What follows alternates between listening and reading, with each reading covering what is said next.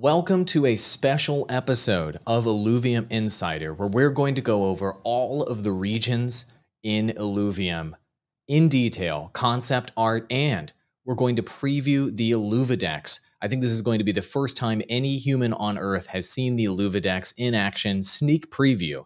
And today, when we explore all these land regions, we couldn't do it without Rogier, our lead concept artist. Rogier, how are you doing today?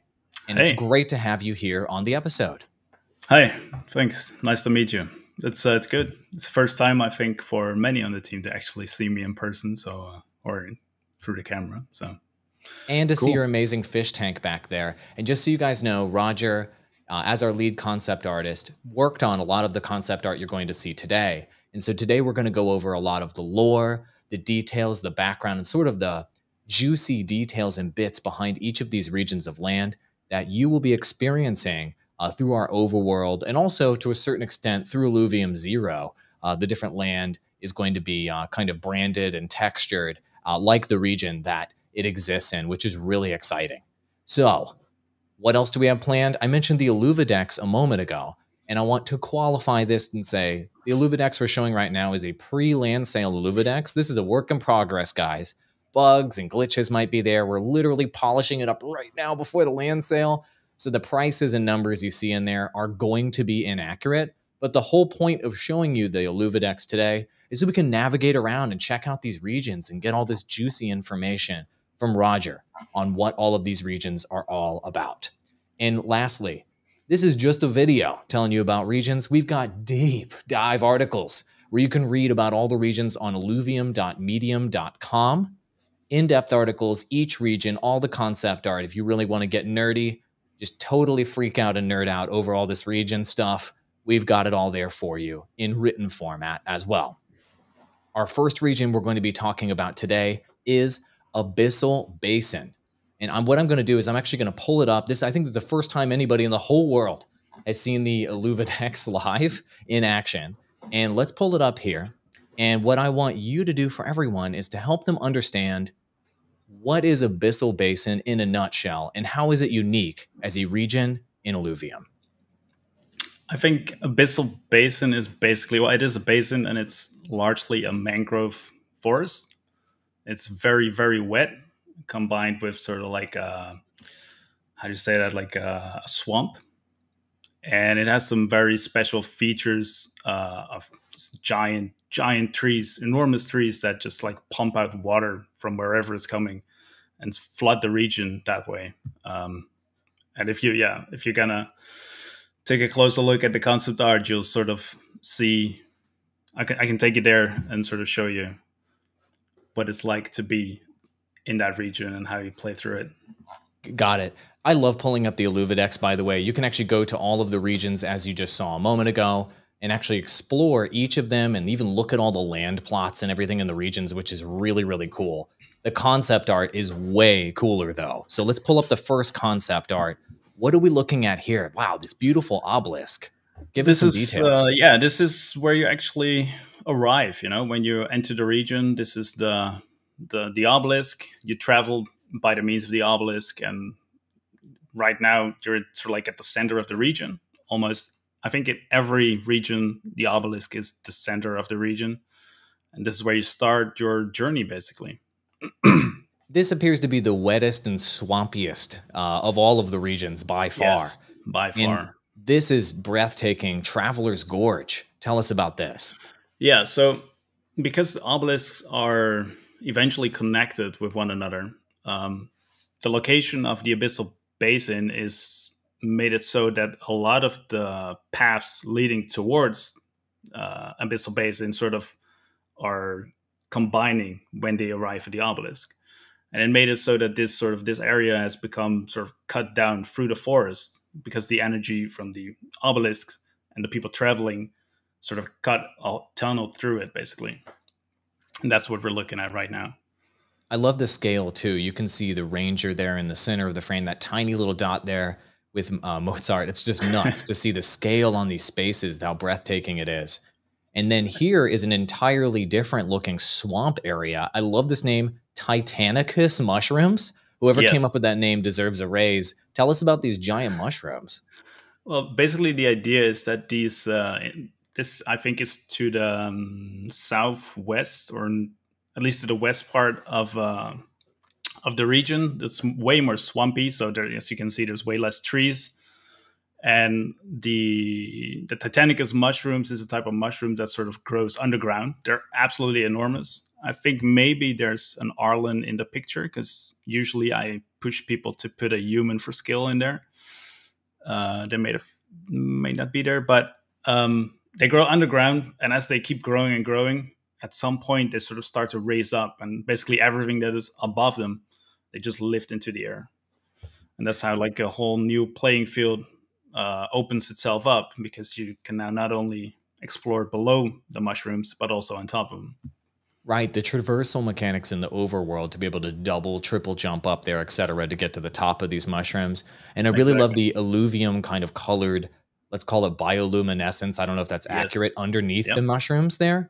That's yep. really beautiful. So typically under a mushroom is interesting. It looks like almost like an accordion, but this is like a bioluminescent cyber fantasy accordion almost. it looks it looks nuts. I love the design there. And this one does have a person for scale in the swamp, yep. as you can see right over here. Just letting everybody know the scale of these giant mushrooms.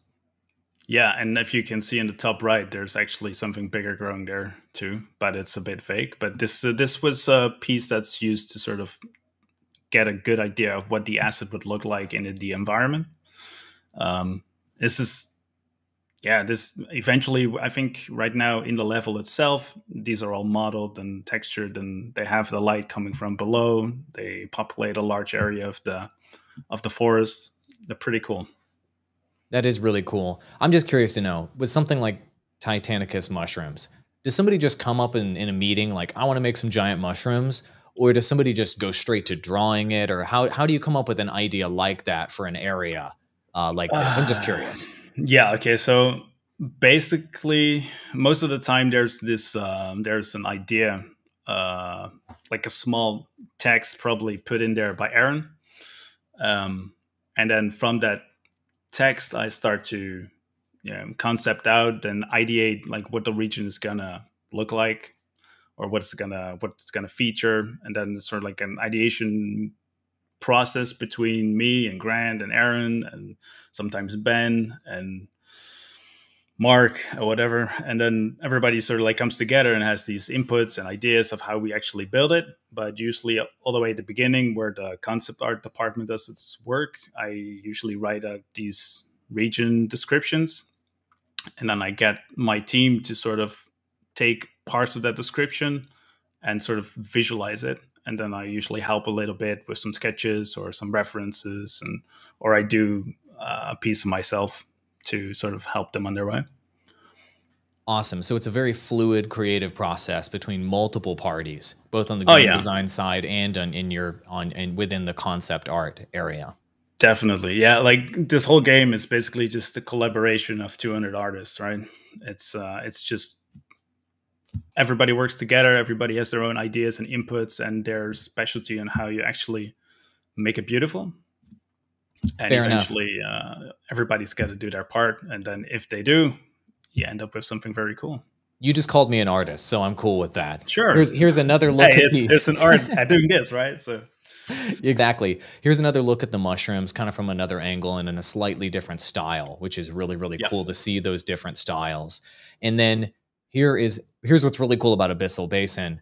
Totally different look now. Obviously, yes. it's still wet and swampy-ish, but it's now going from this very swampy, mushroomy type of environment to something very different. What are we looking at here? Uh, yeah, basically a wetland, right? This is um, Bluewood, which is uh, yeah, like I say, a wetland, and there's like all of these um, waterfalls coming down from the edge of the basin with if you see if you look all the way back in the picture you see like this giant tree sort of like creating those waterfalls. And in the level if you would be playing you would actually see like the whole cliff face just littered with all these gigantic trees. I think uh, bluewood well trees is what they call. And they sort of have a massive root system underneath that pump up water from the ground or ocean or whatever. And they actually take the nutrients from the water and they spew it out again from the top. Very cool. I, I man, it's so so amazing looking. And and the thing is, we need variety in these spaces that we're engaging with in Illuvium. Um, as people are grinding, they're collecting resources and what have you. We need that visual variety, and this is the same area, but now with significant visual variety. So, what happened here that made well, Bluewood turn blue into green? Yeah, so then it becomes greenwood at night. Actually, the radiation sort of from the from the Earth or from the planet that they pump up uh, influences the bioluminescence in the water, and then eventually, when sunlight disappears, it starts to glow and then turns bluewood into greenwood.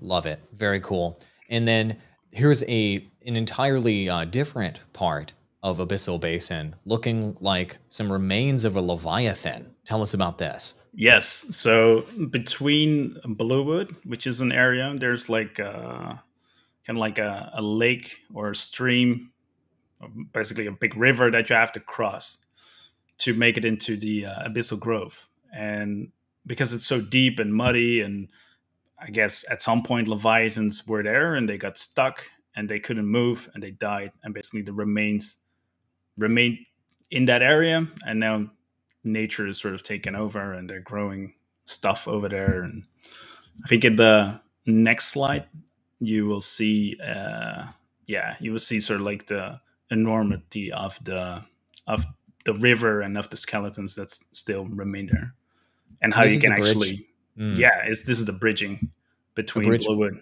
and Greenwood. Mm. Very cool. I love how as we're going through this art, you guys have thought of not only each individual area, but the transitions, the entrances, and the exits to each area. So visually, it can walk gamers through.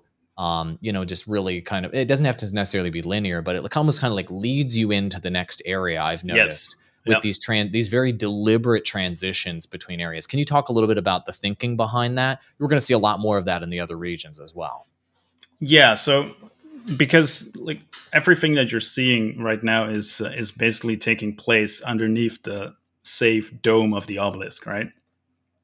And this is um, this is sort of like the the area that we have to work with, and we know that players will be there, and we know that it has to be a certain size, but we also want to make it so it's a nice flow for people to walk through the regions. So they don't have to travel one direction travel back travel the other direction travel back because that becomes very annoying. Especially we expect people to want to go out there and and grind and you know get the Illuvials that they want but if they didn't find the ones that they did they'll have to go back and then you know we because they're going to be in the region so many times we don't want them to get this this annoyance when they're exploring the region. So there has to be thought out how people are going to play through the region, and that's also influencing the design basically, but not so much the lore. Um, in yeah, not so much lore. We we make sure that um, we have enough cool ideas that we can somehow implement while not sacrificing the gameplay mechanics basically. That makes sense. And this is wild even more variety in Abyssal Basin here with last yes. ripples. With these, uh, I mean, they look mushroom flower esque. Tell us about this root system here. Yeah, so this is basically the bridge um, or the border of coming from out of last ripples into the abyssal grove and the abyssal grove is like the largest part of abyssal basin which is like a mangrove forest with a lot of roots and gi gigantic trees and mushrooms and uh, flowers and because it's so dense uh, there's barely any light coming through so all the plants and flowers that that grow in there have found a way to sort of self-illuminate and that's of course of they the, have, and it makes them glow and look gorgeous, which is it's great. It's a bit for, avatarish, you know. So. Yeah, exactly. And then here's a mangrove-like forest, still in the same region, guys. Yeah, because it's so large, it actually there's a whole bunch of separate um, themes almost to certain parts of the region, and certain unique assets that only grow or can be found in one part, and etc. And as you travel through it, you're, you're going to be traveling through all of these different themes, basically. Very cool.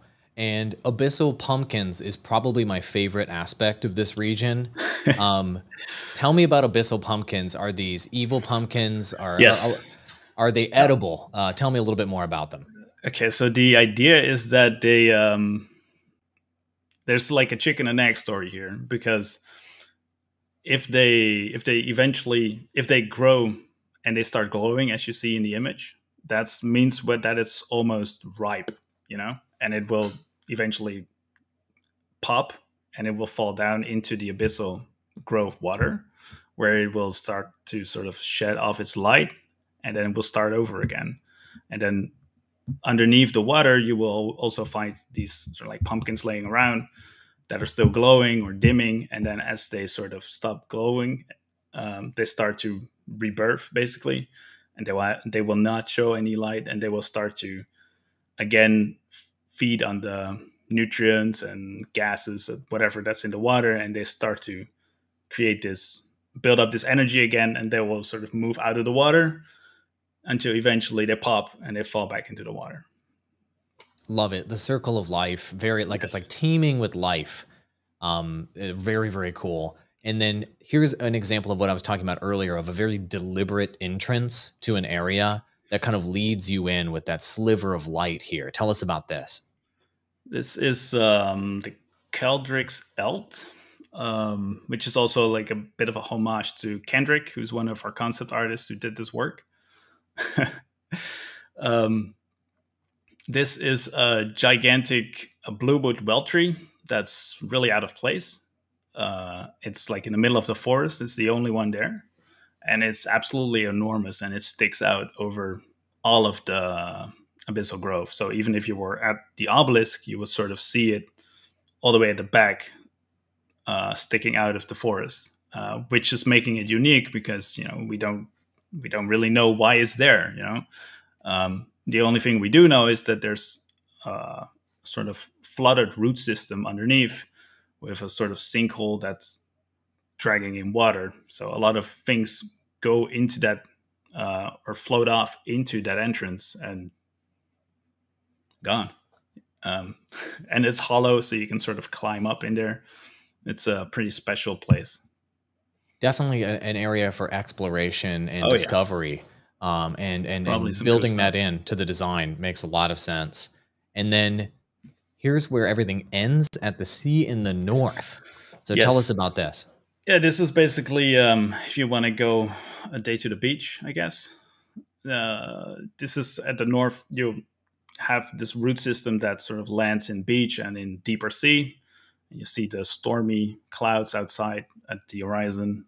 Uh, yeah, it's sort of like the the how do you say that? Like a, a dam also for the seawater. You know, mm-hmm. just like in in on, on Earth, we have these mangrove trees or mangrove forests that function as a sort of dam when a barrier. Yeah, a it's, barrier. A, it's a yeah. barrier to keep the sea from um, uh, cr- destroying you know different uh, exactly. aspects of the land and eroding it. That's yes. cool. Mangrove barrier there. Uh, that's great. Personally, I'm not going to the beach um, anywhere in Illuvium because uh, I feel like every region will just is like designed to kill you somehow. But anyway, yeah, sure, pretty much. that's really cool, and that's it for Abyssal Basin. That was just one region, guys. This is deep, as you can see. It's, uh, some of the regions are far more developed than others, and we're going to be going over those today, uh, of course. But the next region that we're going to be getting into is Brightland Steppes. Am I pronouncing the steps correctly there? I know it's kind of spelled a bit. Yeah, fancy. I heard uh, some people call it steepies. Steepies? Or, uh, oh boy, st- I don't know. Or uh, steepies. And so, uh, here we are on the Illuvidex once more, guys. Once again, all the numbers here are placeholders. But as you're navigating here and you're taking a look at land, if you're interested in any of the regions such as Brightland Steppes or Steepies, I guess is the pronunciation being kicked around, this is it. Brightland Steppes right here. What is the elevator pitch? What is the summary of Brightland Steppes and what makes it unique? Well, the place that we're playing in Illuvium Overworld basically is lifted up in the air. It's uh, it's a very unique place. Somehow, it's up in the clouds. Something is holding it up, and uh, it's kind of weird. But if you if you go there and you start exploring, maybe you'll find out. So Got it. Yeah. So so as you can tell, Rogier is being cagey about details about each of these regions in terms of the very specifics, uh, namely because we don't we want you gamers to explore all of this. We don't want to spoil it. So Brant, Brightland Steppes. Let's take a look. This is what he's talking about. Yes. If you can see at the background, there's all kinds of root systems, and a lot of stuff is elevated into the air. And as as we go through the yeah. So this is the the obelisk region. This is actually in Brightland Valley, which is like the flattest of basically the whole region where you'll be playing. You'll almost be surrounded by all kinds of blocks of world lifted into the air, held up by these gigantic purplish roots. I love that there's a valley in this area though, and that's where the obelisk is located. So you can kind of get the scale as you look up from the valley oh, yeah. at all of the elevated locations uh, which it's, uh, that scale, yeah, it's intimidating. so lush, so so different than Abyssal Basin, which yeah. obviously was very te- was teeming with swamp and marsh life. This is teeming with more like lush greenery here in this case. And here's that sort of view, if you will, uh, from the valley looking out. Yes. Yeah, the Brightland Steppes is very much a, a happy place. You shouldn't be feel like you're in danger or you feel like there's a mosquito in your neck you know? It's not not like that. It's it's happy it's it's kind of open it's very a lot of fresh air there's, uh, there's a lot of clouds but a blue sky you know? It's not warm but it's just nice you know? Like spring can be i guess. And uh and okay, so this, sky, so this might be number one vacation spot according to Rogier in all of the Illuvium regions.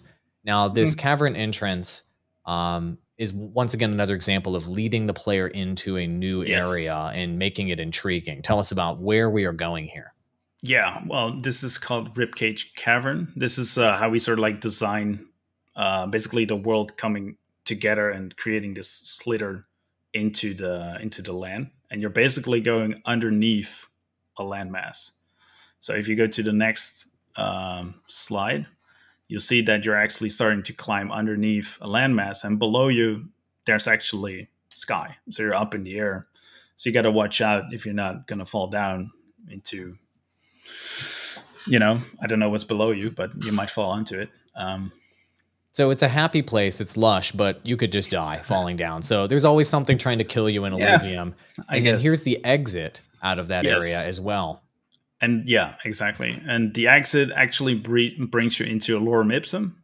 Um, and if you're if you would be walking out of this place, uh, if you go back, then you'd you'd sort of like enter almost an arena kind of feeling. It's it's like this park idea with waterfalls and blocks of land and there's holes in the ground, but you're surrounded by sort of like this almost walls of giant rocks, which you can also climb and get on top to, so you're able to continue your journey to the next area.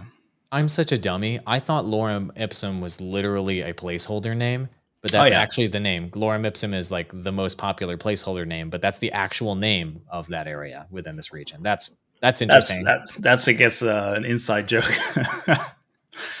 so yeah, we were.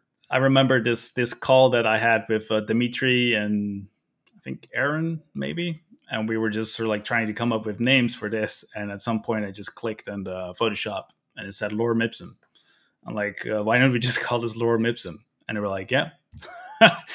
so then we went with Lorem Ipsum, and I guess it stuck around. There you go. So creative decisions can be made very deliberately or just on the fly, and everybody's like, yeah, cool, let's do that. So there's definitely different ways that these different aspects of Illuvium are created.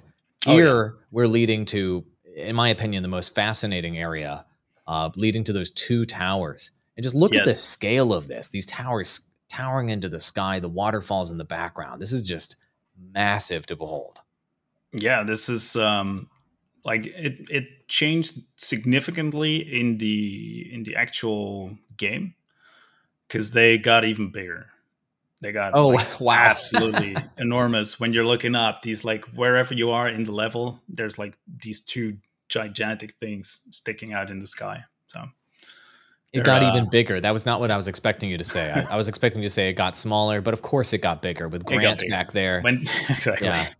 Just I, I have been in a private session with him before, And all of this concept art you're seeing, Grant and the team will go and handcraft all of what all of these aspects from the concept art will be in the actual overworld game, handcrafting it, placing the rocks and the different um, elements into the space for players to enjoy. And that's really cool that if you have a cool concept in the concept art, why not make it even bigger? That makes sense. Um, exactly. Really interesting. So this is leading to the two towers. And then here is a plateau. Yes. So the highest point, except for the two towers, is Falros Plateau, which is, um, as you can see, it's a bit less lush. And it's also like getting covered in ice every now and then because it's so high up and the wind is so strong. When a cloud comes by, it actually starts to sort of freeze everything. But as soon as it passed by, the sun is there again and it sort of turns back to normal. Um, that's kind of like this this thing that will uh, characterize this this piece of land.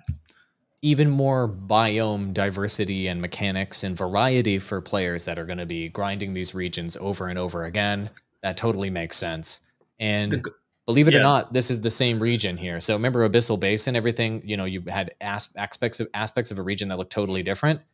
This looks totally different than what we were just looking at. So there's more mushrooms. So tell us yes. about the parachute the parachute yes. shrimps. So Falros Plateau is so big and so high that it actually creates a shelter and sort of like a, an airless or windless pocket below it. And it sort of casts a shadow on this region called the Baron's Throne. And because there's so little wind here, this is actually one of the few places in all of Brightland Steppes where something other than grass can grow and these kind of weird things started to grow up and probably in work together with the roots and they sort of blow themselves up with gas that's coming out of these roots. As you also notice in a lot of the other uh, concept art you see these bubbles everywhere but here you don't. That's weird. Massive visual variety. Lots of lots of uh, if we go back here lots of um, pink in the previous biome pink and green and then we move yep. here in the variety. It's per- deeper purple and green, sort of a darker look. So it's, I'm glad that there's variety here. Yeah. yeah. Yeah. Because just having just a purely happy region, if you will, that has the same look, we get very samey and tiresome. So I love that there's a darker, more brooding uh, um, yes. part of this region. Um, I'm, I'm very happy about that. Here's the throne you were talking about a moment ago, Baron's Throne. Yes, Baron's Throne is the name of the region, and that's the name of the uh, Baron's is also the name of the asset, basically. And there's this odd piece of land that's being held up by these, yeah, a lot more roots uh, than most of the other parts, and it sort of naturally formed this weird structure that they called the Baron's Throne. And you can actually try and get up there, but you'll have to find a way to get up there. It's not going to be as easy, but it's probably going to be something cool up there, you know. So Hint, hint, hint. Might um, be worth a try. yeah. So first one to parkour up there, record it and uh, tweet it at us. Uh, I'm sure you'll find something interesting. Maybe we're not making any promises. And then here's the mausoleum, an interesting name because of the fossils. And and you mentioned yes. the bubbles earlier. So the bubbles are just out in this sort of more open space within Brightland Steppes.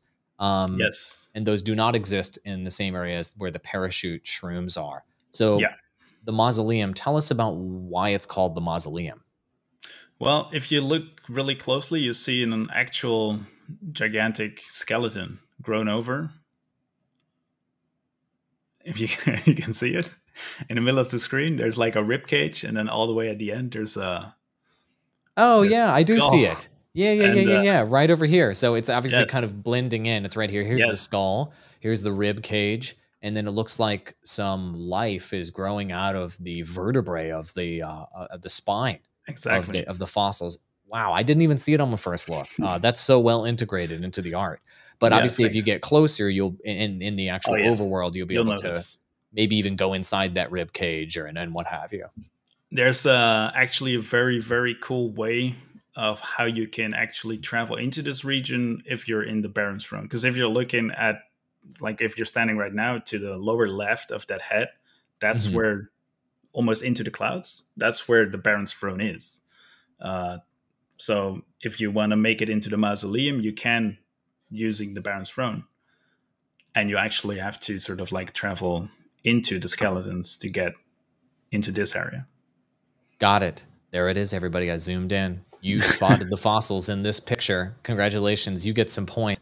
And here is an entrance to yet another kind of sub-region within this region.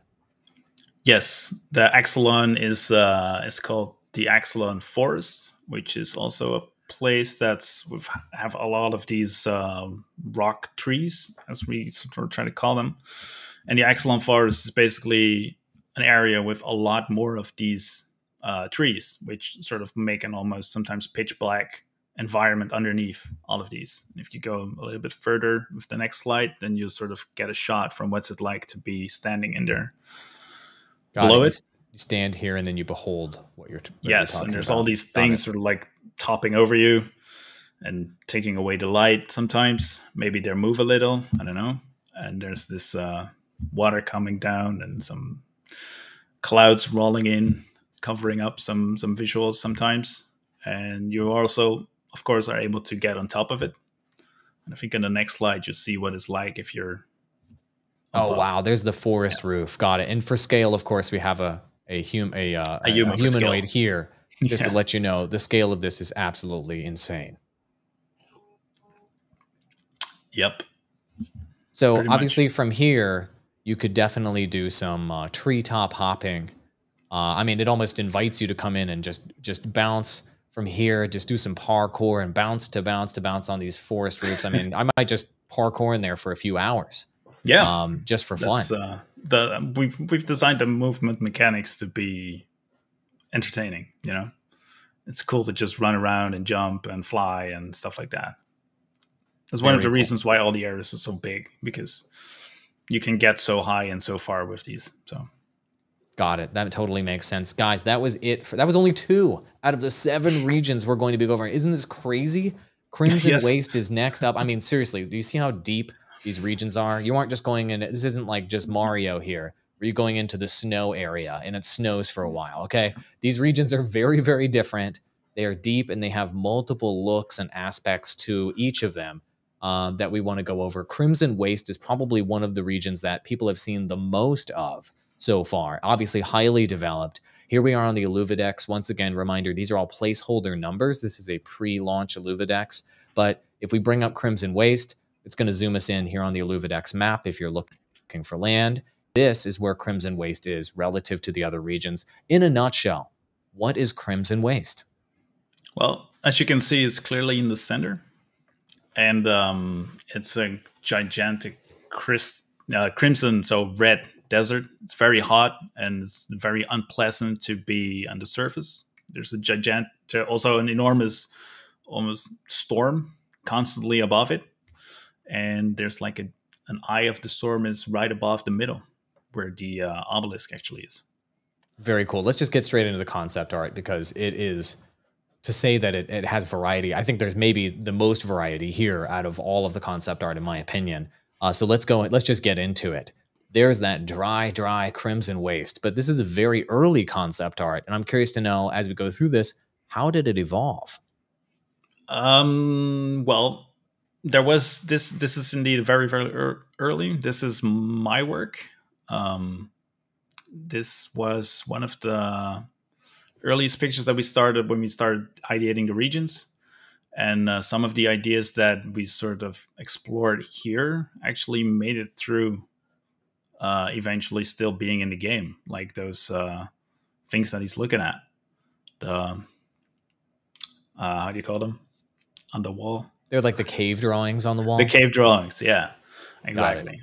Very cool. so this is you, this is what we're referring to here. Cave drawings here. That's what yeah. the light is pointing toward. We don't want to say too much about what they are exactly because we want players to discover that. But let's go to the uh, next area yeah this is still very much more of the of the red desert the lifeless red desert that's uh, on the on the surface of the crimson waste. And you'll find that um, the in the middle of the crimson waste there's like this rock formation. I think that's on the next slide.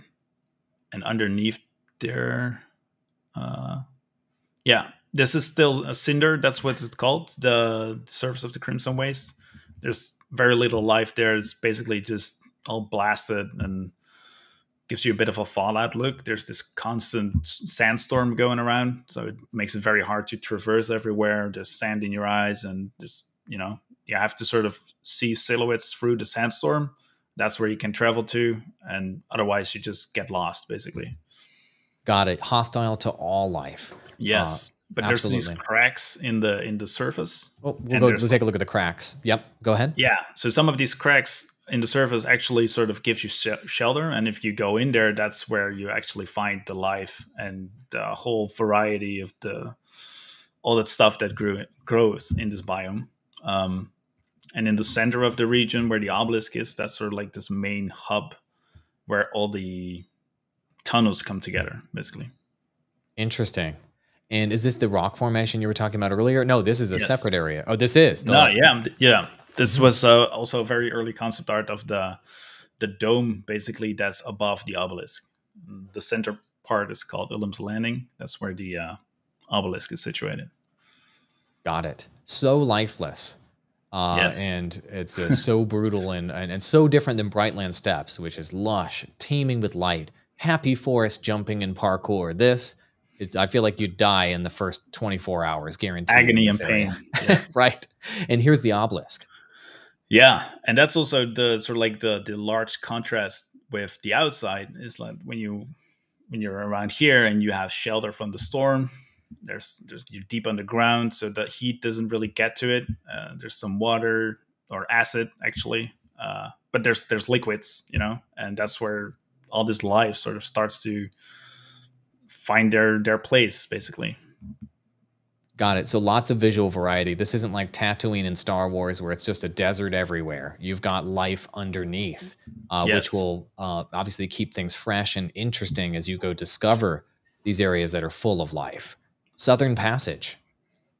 Yeah, this is one of the biggest tunnels um, leading from Ullum's Landing, leading from the obelisk and it's very wide and open. So there's still some light and sand falling down, and there's some some acid and stuff, uh, sort of like forming a river down towards uh, eventually an exit into Cinder. And um, one of the reasons uh, why all these tunnels are here is probably just like the uh, Traveler's Gorge, where it's sort of cut through, uh, heading towards the obelisk and that's sort of like probably one of the main reasons why these tunnels are also heading there. Got it. And wow, this is so different than everything we saw before in Crimson Waste.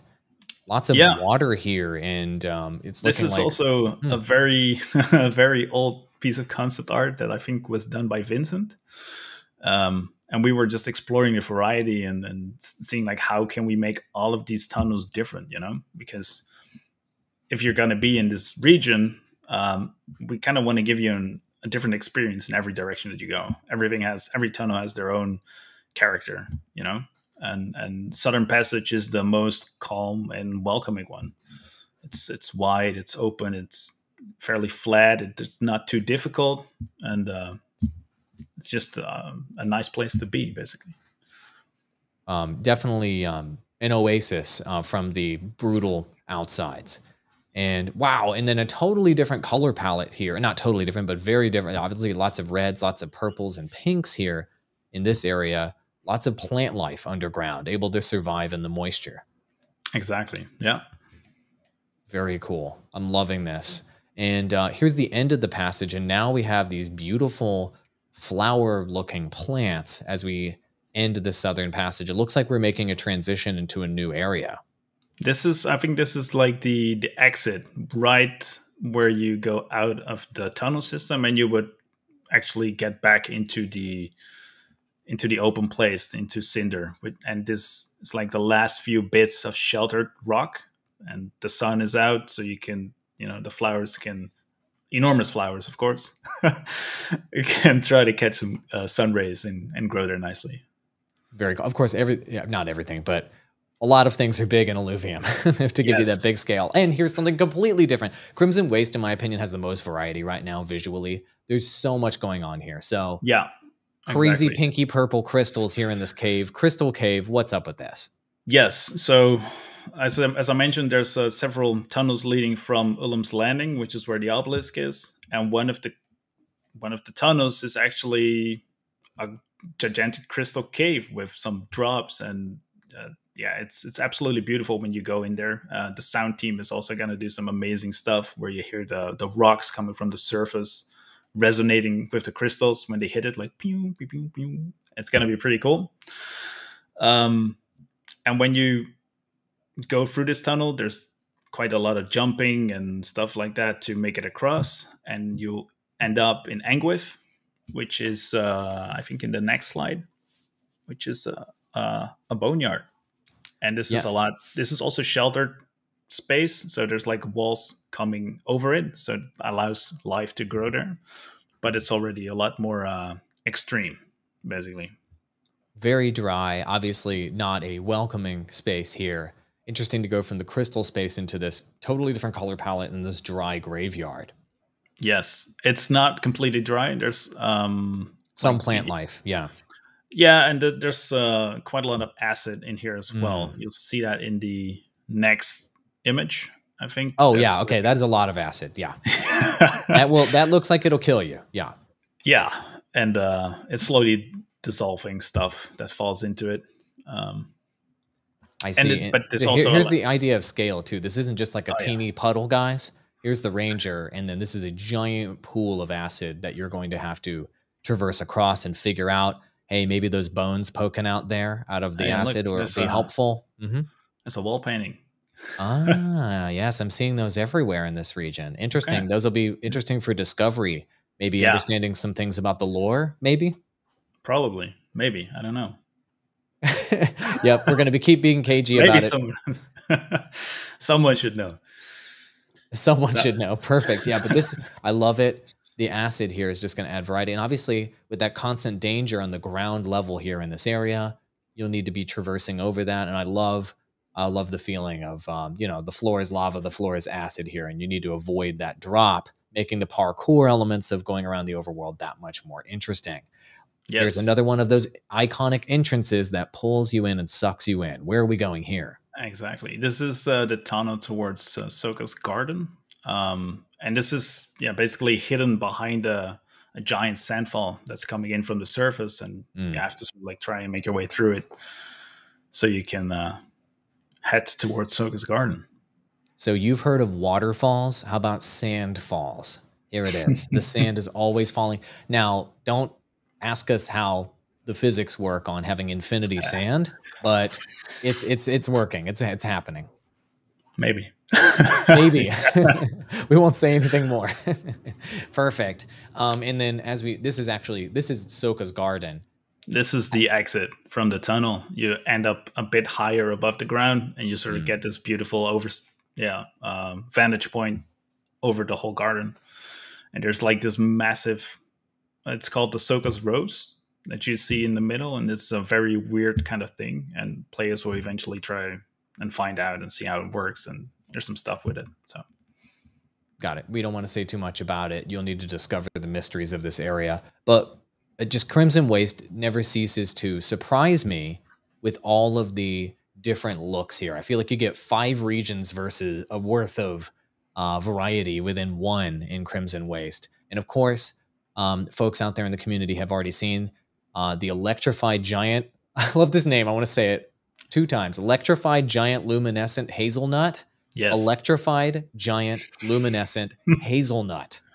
What, tell me about this. How did this get created and where are we?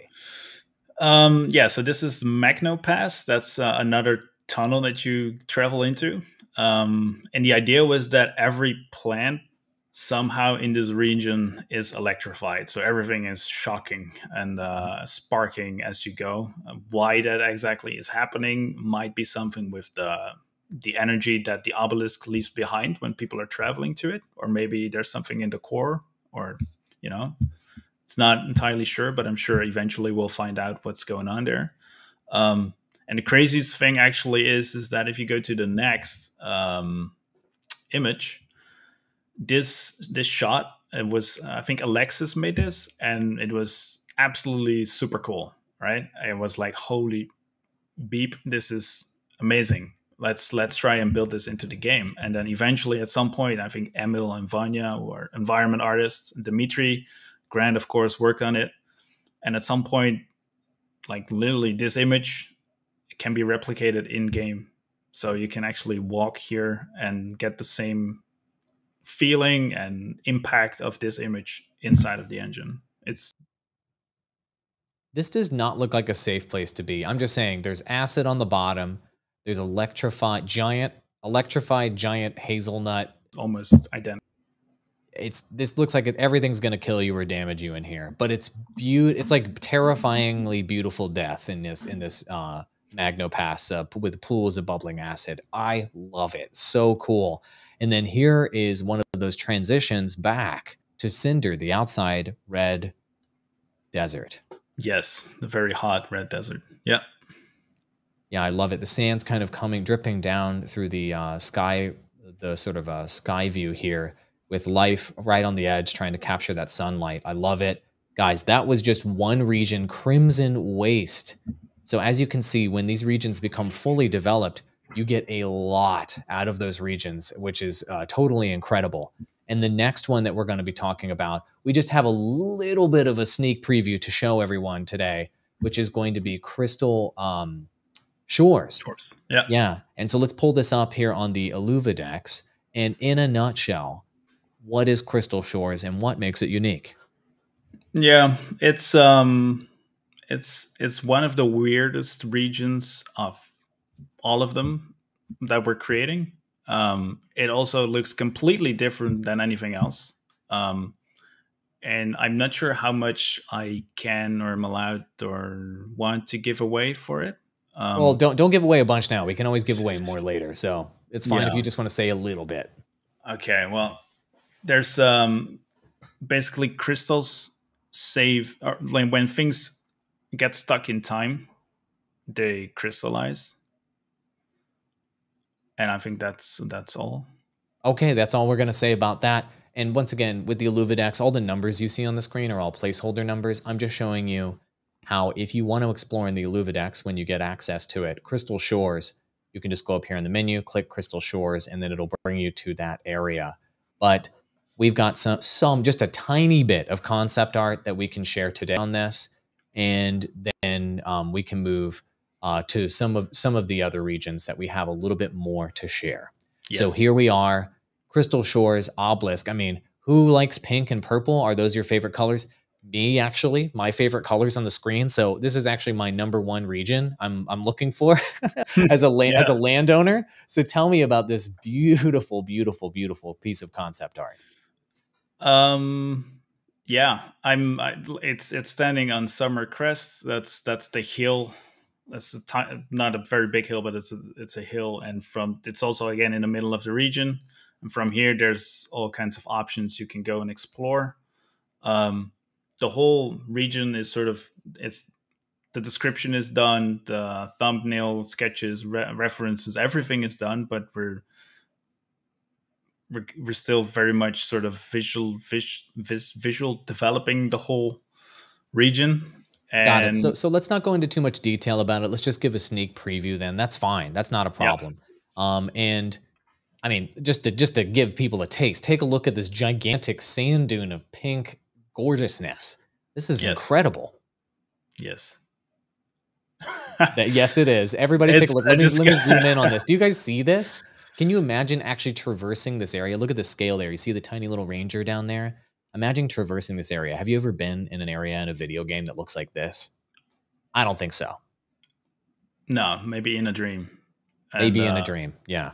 When you eventually find out like where you are, what this place is, and why it looks like it, the way that it looks. Look at these crystal pretty, structures, man. Look shocking. at this. Look at this. That's ridiculous. It's, so it's gonna be man. very hard to to do that, but uh, I'm, Grant is finding a way, hundred percent. Of committed. course he is. That man has the solutions, and here we are at spectral spectral peak. I know we're not saying too much. Spectral peak is the thing in the sky. I see this up here. Got it. Yes, and somehow that just sits there, and it plays a huge role in the region and how you can actually move across and do things, and it's going to be pretty cool. We're not saying too much, guys. Just a sneak peek on that one. That's it. That's it for Yes. Crystal Shores, everybody. I wish we had more. We'll come back with more later. The next is Halcyon Sea, which we do have a bit more to show on Halcyon Sea. And um, once again, let's go ahead and pull up the Illuvidex so we can get a sense of where this is at in the world map. And while I do that, what is Halcyon Sea and why, and, and in what ways it is is it unique versus other regions in Illuvium? Well, Halcyon Sea is uh, like a giant um, landlocked area, and it's like a, a coral reef kind of, um, yeah, place that's that's above the land basically. Um, it has some like very weird kind of features to it, um, and it's mostly just very. It's got to feel very tropical and chill and surfs up, dude, kind of vibes basically. Surfs Up Dude vibes. There it is. Yes. And so anybody who's checking out the Illuvidex, you, you can go dive into Halcyon Sea, go check out the different land plots as you see fit. Once again, as ever, all of these numbers are placeholders in the Illuvidex. This is a pre-launch version of the Illuvidex, just giving you a sneak preview on that. But enough about the Illuvidex. Let's go look at the concept art, which is going to let you know what Halcyon Sea is going to look like on the ground level. So let's just get straight into this, which is very different than all the other regions we showed you a moment ago. Surfs Yes. up, dude, and chill galore. What are we looking at? This is um, a concept piece for the obelisk area, which is called the Takifugu's Dome. And I, if if you're watching this, uh, write down Takifugu, and then maybe at some point Google that, and then you'll find something very cool because it's actually named after the one of the greatest artists of the animal kingdom, which is the Japanese pufferfish, and they create this very intricate sand pattern um, and we try to mimic that into the game as a homage, basically. So That's a cool. That's a cool tidbit. That's really really interesting. Yeah. And here's another angle on the dome obelisk. yeah, and um, something odd you see is the, giant structures trying to sort of grow over the obelisk, Hmm. and it's somehow failing to do that. And there's something with the obelisk, the energy that is sort of like apparently has that's allowing it to not be grown over. And that's all we're going to say about that. Go discover it on your own, players, when you get in the game. and here's Exactly. Halcyon Falls. I mean, to me, this this reminds me. This is like for me, like just a, a, a classic like fantasy concept art right here. You're like on feel like you're on the edge of a coral reef leading into a fantasy world. This is nuts. Tell me about this. Yes. So what we're looking at is um, the Bifun stairs. Um, it's like these all of these pools laid up. Uh, in the game, it, it's actually going to be even bigger than this. And in the background, you see the water coming down from the Halcyon Falls, which is a giant uh, waterfall. And if you go to the next um, image, you'll see that you're sort of made it atop, and you see all of these colored pools in the foreground. And there's like this giant um, deep lake almost uh, at below the waterfall, which is the called the overflow pond. Um, and there's yes, some people say there's stuff in there, but or something lives in there. You know, Go jump in there, players. Maybe you'll die. Maybe you'll live. Maybe you won't. You'll we'll find out when you discover. it. Perfect. yeah, exactly. Yeah, and just a reminder, we're being cagey about details because we want you gamers, we want you players to go discover the overflowing pool, and we want you to find out what mysteries may or may not be in there. And I, I assume this is what you're referring to with the deep portion here. Yes, yeah. There's something maybe. You know, There might be something in there. Write that down when you get in the game. Go check that out and let us know if you find something. Perfect. Exactly. And then here's a, another shot of the waterfall. God, look at the scale on this, man. Look how tiny the ranger is down here. Yeah. versus this waterfall. This is just, gosh, like this is like five x the scale that you normally see in video games for for for uh, features and landmarks Yeah. like this.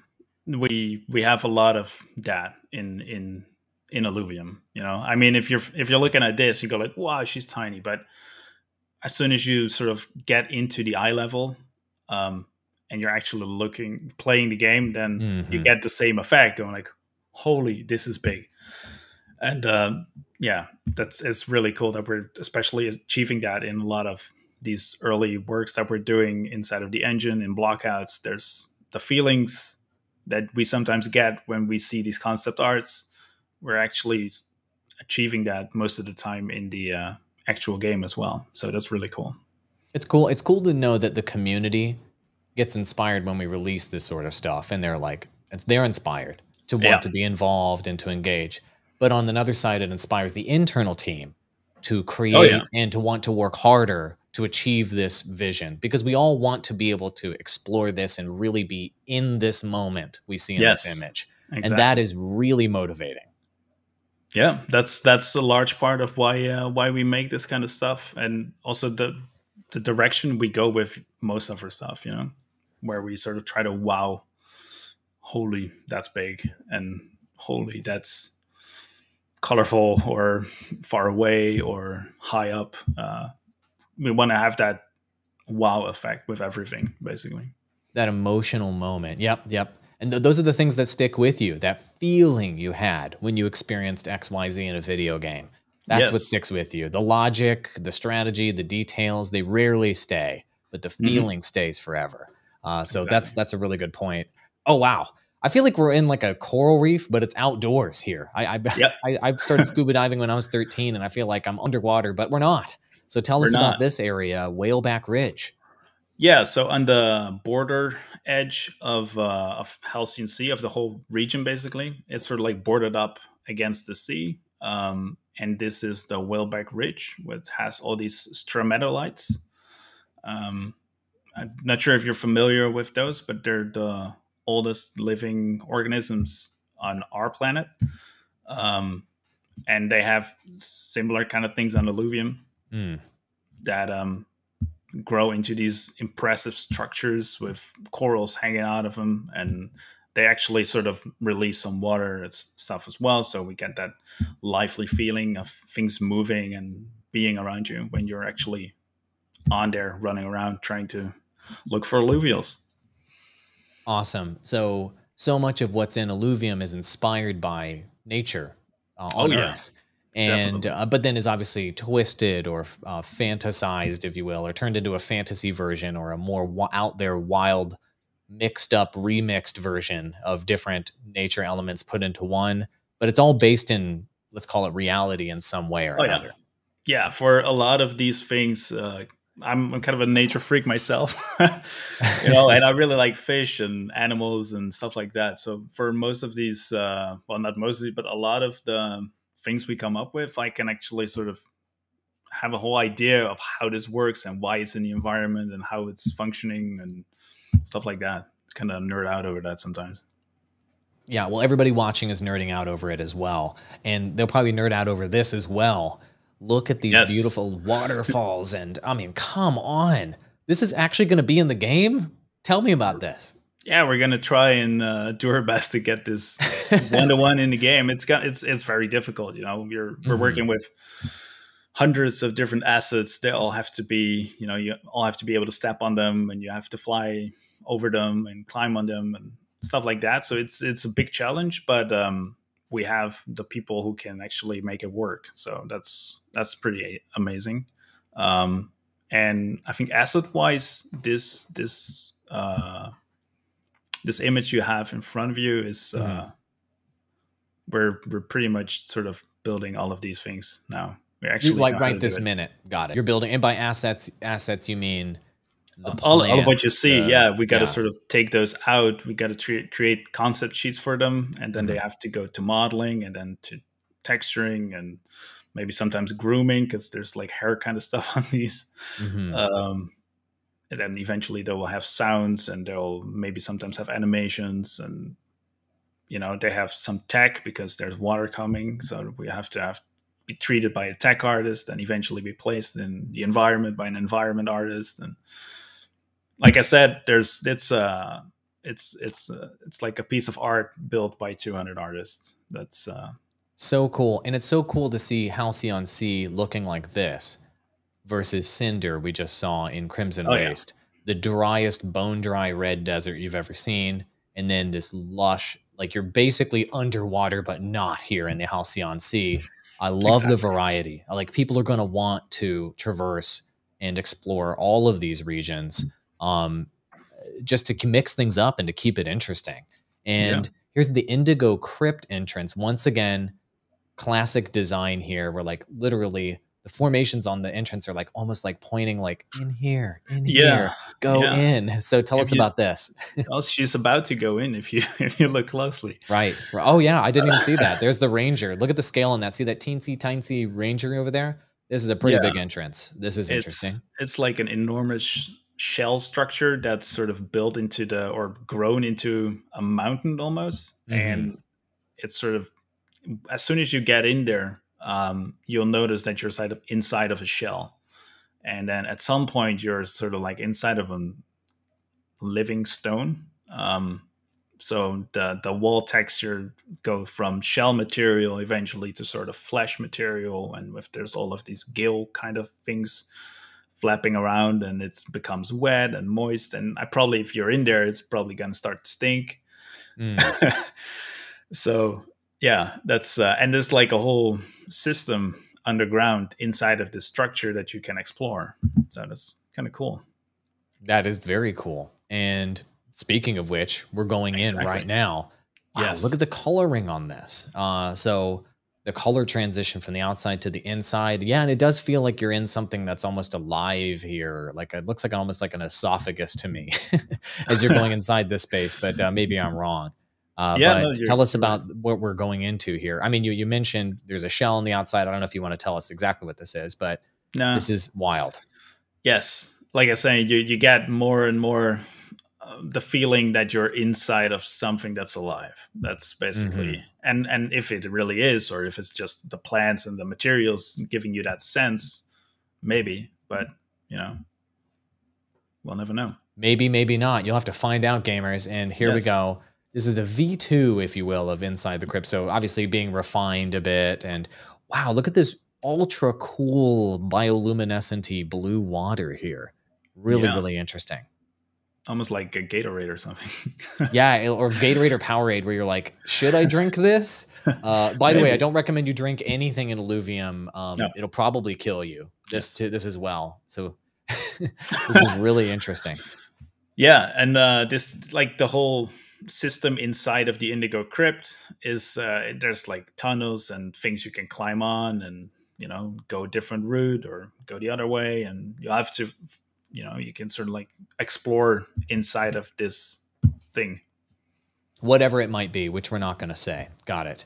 And then oh wow things turn a bit purple and uh, pango? What, what are we talking about here? Yeah so at some point um, there is this space and it's called Pango, which I think is uh, black in Maori, the New Zealand uh, language. Mm, okay, I could be wrong, but I think that that's I, I came up with the name. I think I, that's what it was. Um, but yeah, there's like this sinkhole into the into forever blackness, basically, mm. and there's crystals uh, on the side of the wall, so you can sort of try and traverse down a little bit, but at some point, even the crystals disappear and it's just black underneath you. So it's abyss like. Uh, so yeah. this is, I assume, us traversing deeper in with the light shining down, and this kind of gives us an idea of the depth of yeah. this. Yeah, exactly. Mm. And it becomes getting slippery, and there's algae like mm. stuff growing over it, and at some point, you just feel like you know you don't want to slip and disappear forever. So. I love the da- I love the danger, the feeling of danger. uh, in, in, any area you're trying to traverse, it'll add difficulty and it'll kind of keep you on the edge of your seat and keep you interested as yes. you're trying to move about. Uh, so yeah. uh, I hope that there are some resources of some type crammed down here. So we have to traverse through the slippery abyss to get to the bottom. And then here we are in a different area, exiting Indigo Crypt. Yeah. So there's uh there's probably going to be a few ways of how you can exit this uh, this this tunnel system, and one of them is on the north. Uh, it says north, but I think it's on the south side of the of the map, uh, which sort of leads you into the Sea of Ancients, is what it's called. Um, and I think that's in the next slide where you start to sort of get a feeling for the Sea of Ancients, where basically ancient coral structures have started to grow into a wild forest of all kinds of beautiful, colorful, gigantic and smaller and salt, you know, creating sort of uh, salt and sand dunes, and the water is getting tinted red at the edges, as you can see. Um, mm-hmm. It's a very, very cool place. You know, you have some water dripping down around you, and there's you, know, you probably hear some stuff and there's the red tint moving. he's referring to on the edge there. Just zooming in on that. That's interesting. I love the I love the um, contrast between that red and then the color of the water too. It's really beautiful. Yeah, and if you can see, it's even on her, you know, where she stands. So there's, oh, there's around her legs, whatever that red is, we which we are not going to say. That's on hers or uh, it's on our ranger as well. So uh, interesting. Yeah. Um, okay. All right. We won't want to say too much there and ruin what that may be. And this is just another. God, look at the scale once again, friends. You're just this tiny ranger out here in this wide, wide world. Have you seen? Have you ever seen coral like this? Come on, that's nuts. Uh, what, what I know a beautiful it's giving, scale here. I know it's giving Mark a massive headache. So I'm sorry, Mark. Mark is our lead environment artist, and he hates us for building these. So got it. Yeah, got it. It's like, Mark, you're good at building things, right? Cool. Make it make it way bigger, please. Yes. No, it's not big enough. It's supersize it. Um, yeah. That's so cool. That is what we have to show for Halcyon Sea for now. Moving on to Shard Bluff, Shard Bluff Labyrinth. We only have what two regions left, and we are all done here. So, yep. Um, thank you so much, Rogier, for for giving us your time here on this. And as ever, I want to make sure that everyone can see uh, within the context of the IlluviDEX where this next region is relative to the other regions. Everything you see in the IlluviDEX is a placeholder number, and this is a work in progress. But tell us about um, Shard Bluff.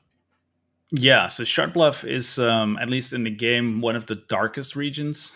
Um, it's uh, it's it's really rocky, and there's a lot of um, orange fungi kind of stuff going around that's that's trying to form the region and it I think the whole region itself is sort of shaped as if something blasted in it. So everything is sort of moved into one direction, into up a hill, creating this one enormous peak. It's the highest peak of all of uh, Illuvium. Um, ah, okay. So it's the yeah. Mount Everest of Illuvium, if you will, is what kind of what we're kind of looking at right here. Pretty much, yeah but probably bigger because in Illuvium we do things oh, yeah. bigger. Mount Everest. so if you're want to check nothing. this out on the Illuvidex when you get access, you just pull down the menu and pull up Shard Bluff, and then you'll be able to go look at all the land in there. Um, but it, it's it's it's so much easier to see what we're talking about if we actually just go take a look at that concept art. And if you guys are just joining us right now, we're with Rogier, lead concept artist of Illuvium, obviously working with a team of talented people as well to create a lot of what you're seeing today let's bring up some of the Shard Bluff, Bluff Labyrinth art. And here we go. Yet another part of the Illuvium color spectrum. We have yet to see yellow in, in the previous regions that we've reviewed today. Now we're seeing some prominent yellowish orangish color. Uh, so once again, more visual variety. What are we looking oh, yeah. at here? Well, we're at Null's Point. Um, like if, if we're looking from the player's perspective, like right behind us is basically the obelisk and Null's Point is sort of like this flat, sandy area, and there's like cracks in the ground where that filled up with water. Um, and Got we're it. looking into like a wall of basically stone shards that got shut up from the ground and sort of like pushed backwards. So everything is sort of like tilted into a certain direction towards the highest peak, which is called the panoramic, which we'll get to in the I think the next slides. Um, here it is. This is the climb to the panoramic. So yeah. where is the panoramic in the shot? It's all the way in the back, and um, got I it. In, so back here, you're referring to this is the panoramic back here. I think it's actually missing in this shot. okay, no, so this is the climb on the way there, so we can't see it's it on, yet. Yeah, got it. Yeah, yeah, and um, it's pretty cool.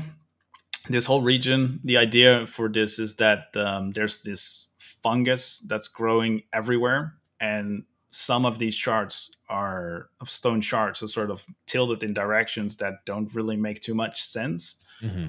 Um, and you know the, the explorers think that might have to do with this fungi actually sort of holding these things together. Um, so you get all these crazy shapes that are actually still, you know, almost defying physics that they're still standing, but it's probably because a certain type of fungi sort of took hold of the whole shard and sort of like crammed it and keeps it in place. Players will have to explore and find out for themselves. And ah, oh, yeah.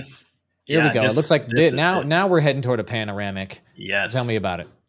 Well, yeah, this is this is the the daring climb up to the highest peak of Illuvium. It's it's also it's almost only just like one area of uh of Shard Bluff, but it's it's a very rewarding climb to make it all the way up there and look out over the world, basically. Unlike Everest, you'll have uh, you know triple jumps and uh, some oh, yeah. extra technology that can help you make it up there. So you probably won't have to camp on the way up. Yeah. Wow, look at the just swirling clouds. It just looks so forbidding, um, so foreboding maybe is the word I'm looking for. But uh, it just looks like uh, it's so ominous and also, like you're mentioning, would be so rewarding to make it across all of this to reach the top. To reach the top, indeed. And something that's also pretty funny fact about the the um, a lot of these sort of fungus-like thingies. Mm-hmm. Is most you're referring to these yellow fungus here? Is that what you're referring to? Yeah, more like the mm-hmm. root rooty systems underneath, and sometimes mm. that are okay. of engulfing around pillars. They're okay, sort of got it. allergic got it. to light. Um, mm, okay. So they usually crawl away in places where there's no light. Interesting. Okay. Write that down, yeah. gamers. You might need to go explore something. Maybe Rogier's trying to hint at something there. yeah. All right. and then here's west of Null's Point, where we find Hullfelt. So yes. tell me about this. Yeah, this is a pretty weird area. There's like these uh, groups of pillars that sort of form together. Um, and they're sort of like uh, all tilting towards one another. So there's something in between of them that's sort of doing that. Um, mm. That's probably why there's the light coming out of it as well. And the funny thing is with oh, so the light you're referring to is right here. This bluish, uh, kind of indigo-ish light is what you're referring to. Okay. Yeah. And the funny thing about basically the whole area around these is that they uh, are filled with blood moss, is what they're called, and it's like this tiny capsules. Blood moth. Moss. Moss, a blood moss. Got moss, it. Okay. Yes. And there's like these tiny capsules that as soon as you step on them, they sort of release uh, a gas. So you got to try and make you find your way around to actually make it across without stepping on one of those sort of like mines. Got it. So I'm going to put this in my top five areas in Illuvium that will kill you list. This one's going to go up toward the top, I think. Maybe, um, yeah. It's beautiful. Maybe. Uh, it's beautiful, and uh, also dangers lurk around every corner. And wow, here's some variety for you. I mean, this is kind of reminding me a little bit of Halcyon Sea, these a little bit in the color yep. palette and what we're experiencing here. Tell me about these pillars. This is uh, when you're actually inside of one of those groups. Um, the reason why the light is like this is because if you would go a little bit further, you would find out but I thought that it wouldn't be right to already show that to people. So got it. So we'll let know. folks discover what's through the blue mist here and deeper inside. Yeah, you you can look at her going like, what's what's what's there? You know, I want to I want to see what that is. Mm. That's kind of like uh, inviting somehow. All right, people got to play the game to go in there and find out. Shard Bluff, Bluff Labyrinth.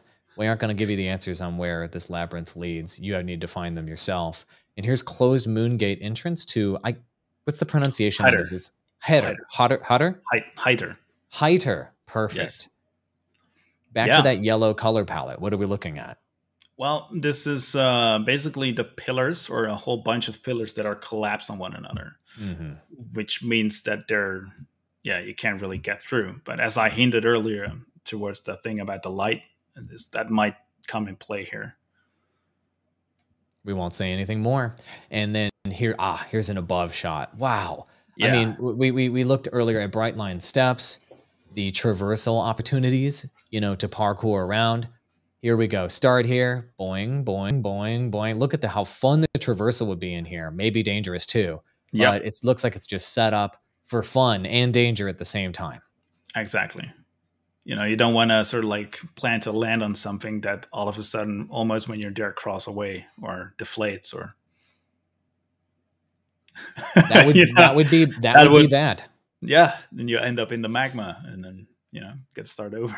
Look at this magma right here, liquid hot, very very cool. And there's the magma vents referring to earlier. Uh, looking to find deposits down here, of course, but don't fall in the magma. Yeah. Uh, so that. this is really interesting. Exactly. It's uh, very cool. These are very cool structures. I like props to the to the concept uh, team, to Alexis, to Kendrick, to Vincent, everybody. That they're they're amazing to work with. So there's there's so little I have to do, and that, like they do these amazing things. So it's awesome. I love the multi-layered aspect of it. So you could be on the ground level down here, then you could jump to this layer here, and then go up to the higher layer up there. And it looks like there's going to be a lot of tactical movement that you will have to make in the, within this space, which will keep the variety high as you're grinding this region. Exactly. Yeah. Very, very interesting. And then uh, here's the mubble fields in Spillfelt. Uh, these yes. are wild. What is this? Yeah, so basically, this is a different um, fungi type that actually sort of takes a pillar, grows inside of it, and eventually sort of cracks it open. And they sort of, yeah, trap the sort of gas underneath, and they actually start to look into form almost a mushroom kind of thing, but it's actually the sides are stone and they're super weird. Um, and they release a, a, gas that's heavier than air, so it falls down.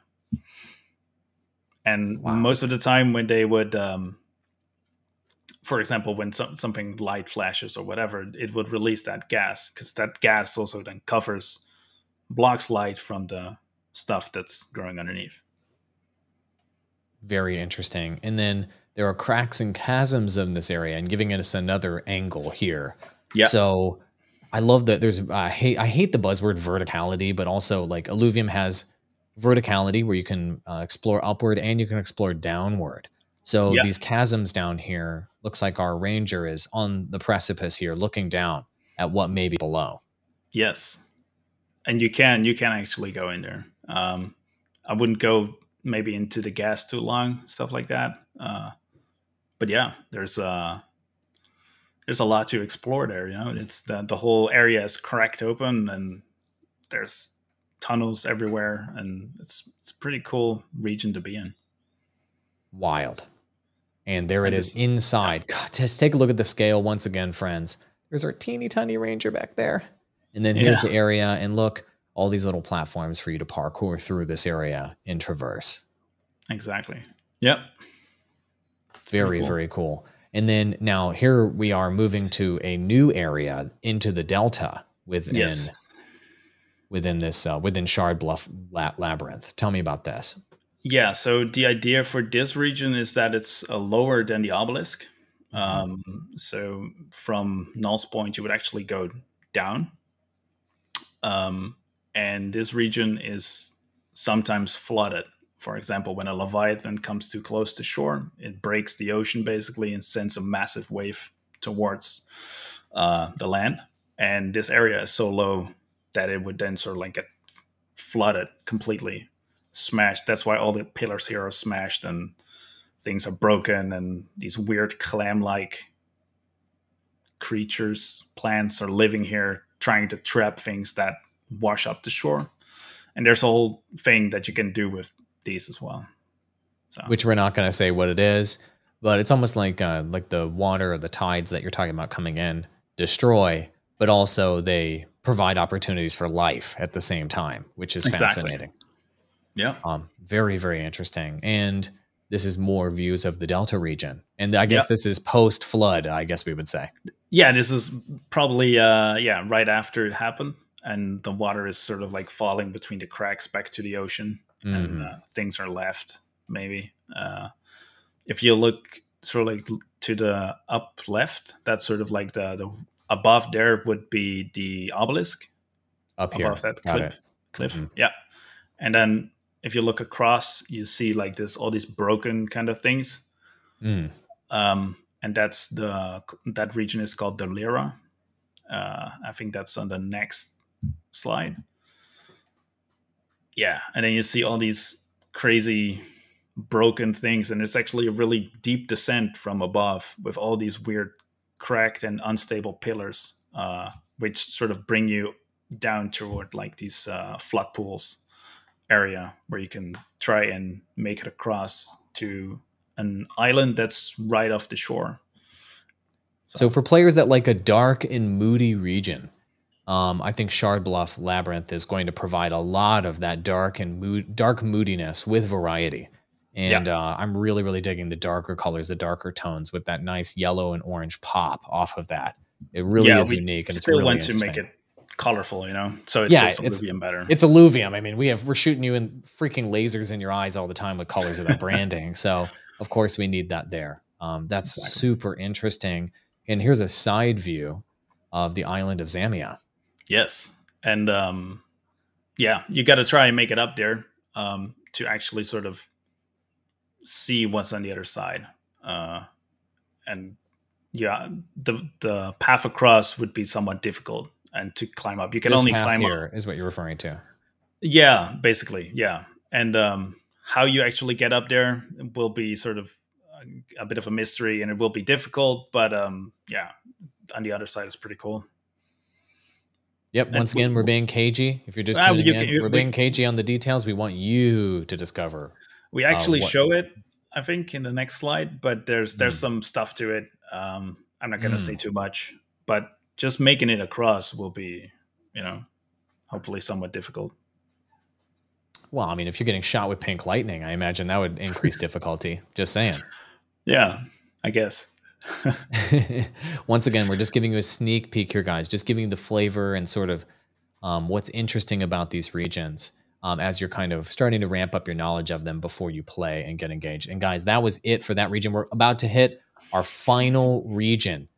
It's been a marathon session, Rogier. It's, you doing uh, okay, it's, buddy? It's Are you hanging in yeah, there with me? Well, my drink has been gone for a while, but uh, I'm all right. Can you do one more region? Yes, last one. All right. Final region. Let's go. And this one, as ever, is vastly different than the rest, which is so crazy that you guys have been able to pull this off. Here we go into the IlluviDEX. Work in progress numbers are not accurate. Just here to show you everything relative to the other um, regions. And uh, help me pronounce this region correctly. Taiga Boreal. It is Taiga Boreal. Perfect. Yes. I'm American. You know, Americans are terrible at pronunciations. Taiga Boreal. What is unique about this region? And here it is relative to the other regions on the map. It's uh, completely in ice. That's that's that's the the main feature about this is that it's very high up and it's all covered in ice and snow and uh, there's a giant lake that's frozen over and cracked open, and there's things below the lake, and it's and there's a lot of cool stuff going on. But the biggest thing I can tell you, uh, I guess, about the region right now is that that we're building it as we speak, and the block out, even without basically anything there, is pretty wow already. So it's okay. very promising let's go take a look at the concept art so everybody can get an idea of what we're talking about. And then everyone will have a good understanding of what the regions look like, what they feel like, and just have a basic understanding of what we're dealing with here. And guys, none of the regions look like this. We are in an icy snow uh, yes. environment. Tell me about it. Well, this is um, a lookout. This is like the hero image for the for the for the whole region. We're at the south side, I think, on the southern wall of the region, looking back to the obelisk. And um, I think it's called the the observatory, right? Oh, I'm sorry. Yeah, the, yeah, yeah, exactly. The observatory, and then the fall is the thousand meter high waterfall coming down. Only um, one thousand. I've had better. Yeah, yeah. I'm sorry. Maybe, maybe before we we release, we size it up a little. I don't know. Yeah, a thousand. Come on, give me a break here. It's and look at the uh, look at the obsidian colored ice sheets uh, yeah. to provide some more visual variety. Yeah, there's this there's this really cool phenomena. Um, also, just in in on Earth, where we you sometimes get this uh, sunlight that comes from the right direction and it sort of illuminates the ice and it turns it really blue, especially when there's like a a layer of snow on top of it, and it's mm-hmm. super beautiful. And gonna try and get that kind of feeling with a lot of the ice here as well, which is just gonna look amazing. It's not just going to be a generic snow world here, guys. You're going to see a lot of really interesting things. And here it is. The promise is 1,000 meters high. So gamers are now going to measure every meter to make sure we deliver at launch. Uh, every meter of this, or I worry. so look at that fall. That's incredible. The question: Where does that water even come from? What do we need to know about this? Um. Well, I, I can tell you that, but don't uh, don't. don't. I'm just, it's I'm, it's I, all was, it's all frozen, and um, it's frozen. Okay, okay. It's basically frozen. There is probably some sort of a stream still going underneath, so we hear things crack and move as we go down, and there's some you know there's some cool features about the uh, about the waterfall if you when you're making your jump down, basically. So. I mean, correct me if I'm wrong, but there's sort of an aurora borealis like effect. It appears in the sky in this in this region as well. Yeah, because we're so high up to the mm-hmm. to the stratosphere, basically, we're gonna see a lot of cool light shows coming by. I'm fine, totally fine with that. Once again, adding so. visual variety and pop of color against that white of the snow environment. Yeah, we we really want the the world to feel alive in every aspect of the way. You know, whether that's uh, things dropping or the sound, you know, giving you things crack and move when you walk, and yeah, just all that kind of little details that add so much more and making this uh, a very immersive world. The Three Brothers. What are we looking yes. at? Inspired by Three Brothers, I guess. Oh, the Warwick brothers. Got it. Yeah. Yeah. So this is a very weird free mountains because they're also very weird. Um, the tops are actually not covered by ice, but there's this, this, this very weird, almost black glass kind of thing. And when the sunlight hits it, it sends out this weird, almost holographic kind of color spectrum, color show, light show. I, I can. Which one's Karen? Let us know in the comments below. I think the little one. The oh, oh, whoa! Shots fired. All right. I'm kidding.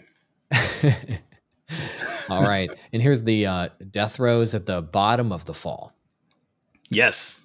Yeah. So that's also uh, something pretty cool. I'm not gonna say too much about because I, I don't know what is known about these things. Don't say it if we don't if we're not sure we don't want to say it. Don't say it. We just want to show exactly. it and have people be intrigued and understand what they're in for in this region yes. if they're interested in owning a piece of it or just exploring it uh, or both. Uh, very very cool. And here's the frozen court, cracked and broken, surrounded yeah. by ice walls. Okay.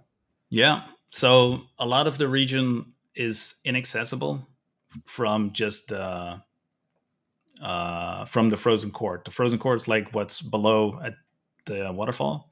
It's like this giant icy lake, and it's all broken and cracked, and things are actually sort of giving you opportunities to find things between the ice, etc. But there's also a wall that you can't always climb, but there's ways you can get up there, which I will not really give away.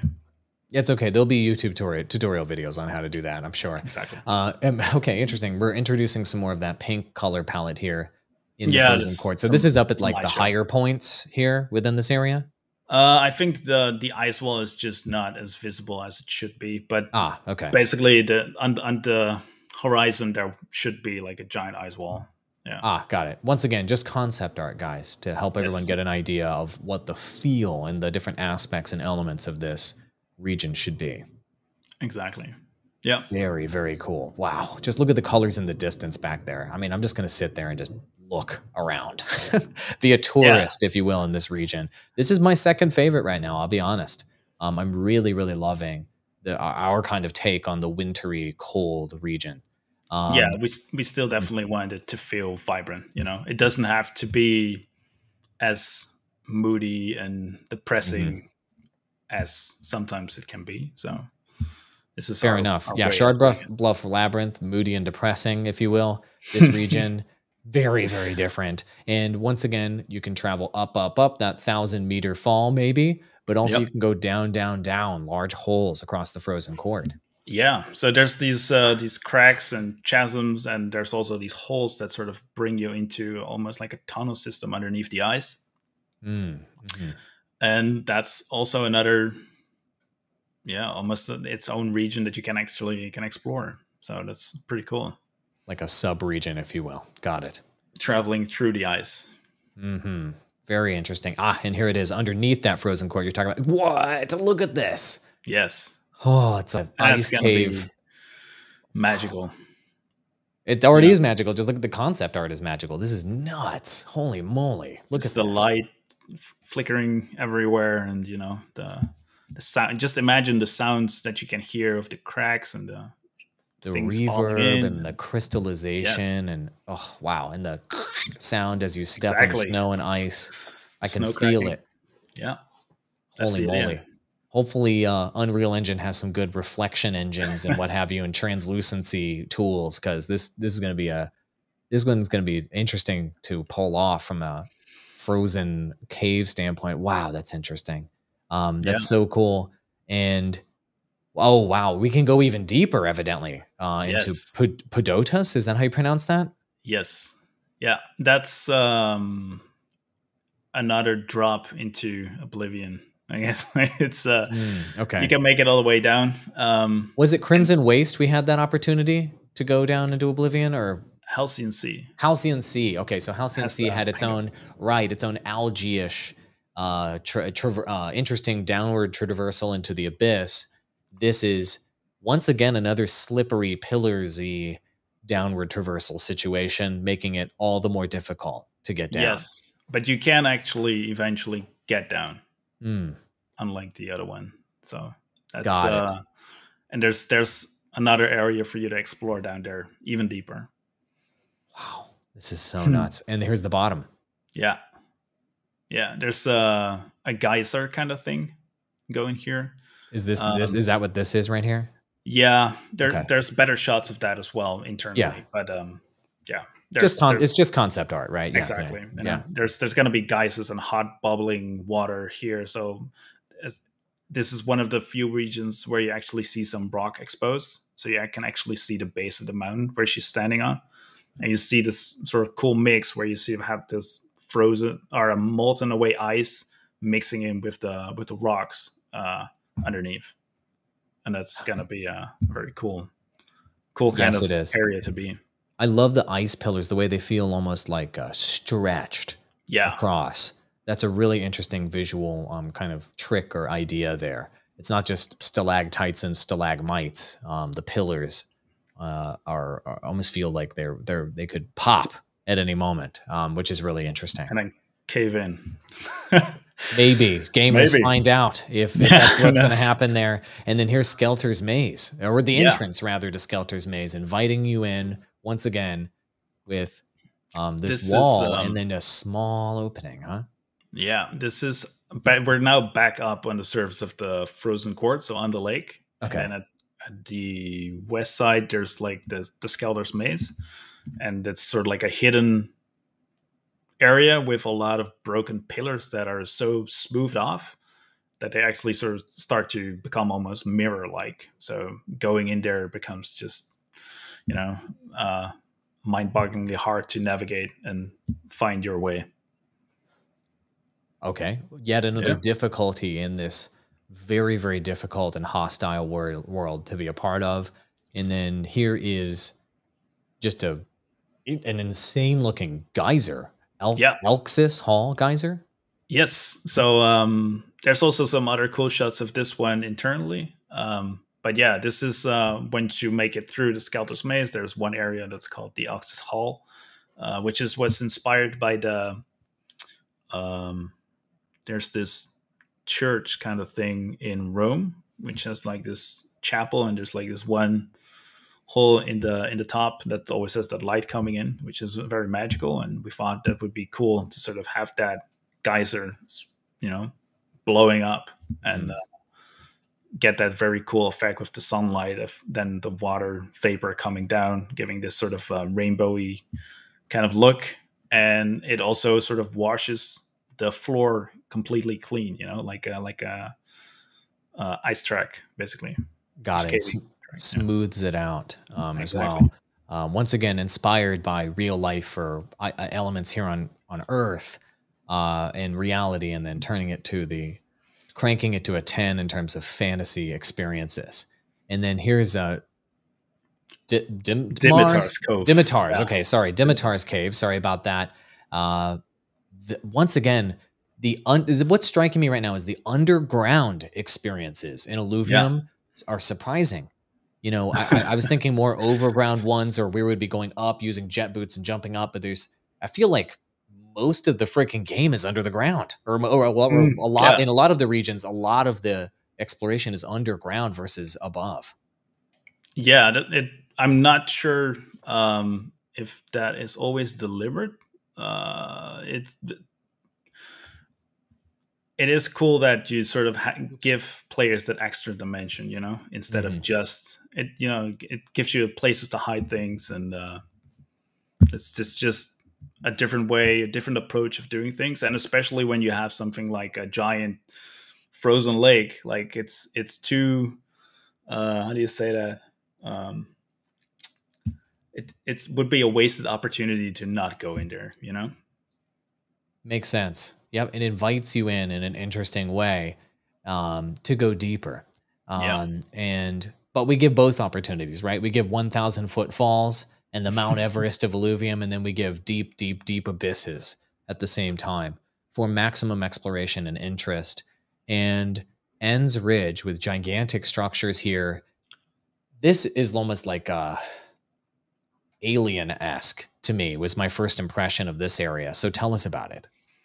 Um, yeah, I'm this. These are the same kind of stuff that are around the fall, the entrance below to the fall. So I'm I'm not I'm not sure what I can say about this, but these are very say nothing. Beautiful weird structures. Yeah, beautiful weird structures, indeed. Look how gorgeous that is! Holy moly, I've never seen anything like that.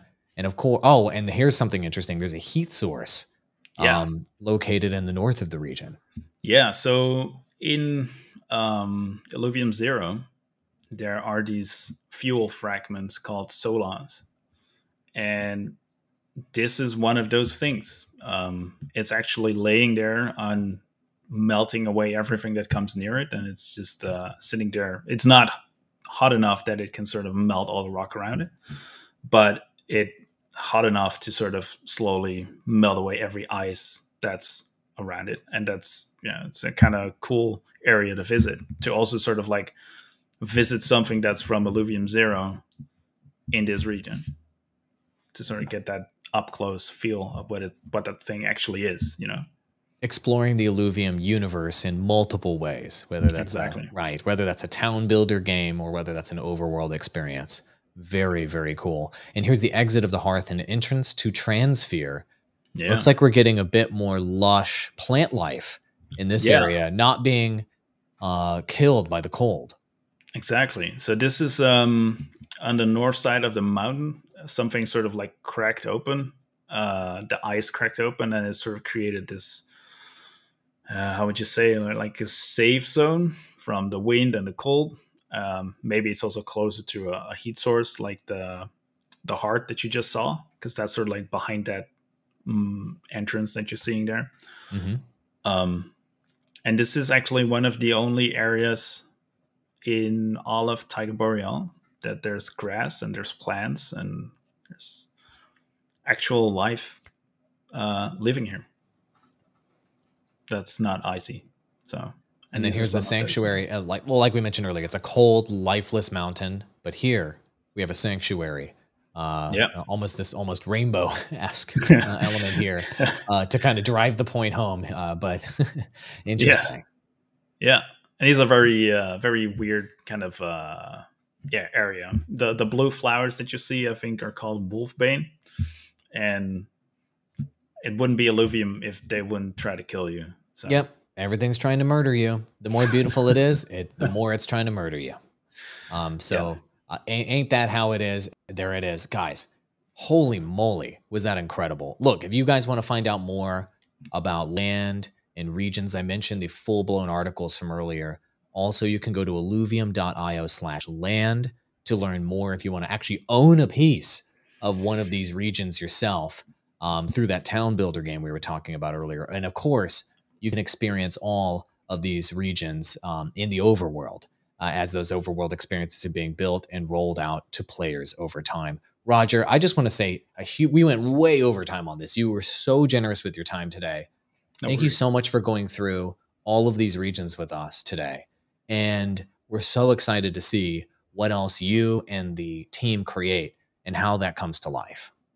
Thank you. No, no problem. It was uh, this was fun revisiting everything. So uh, yeah, it was cool. Kind of funny how much I remembered.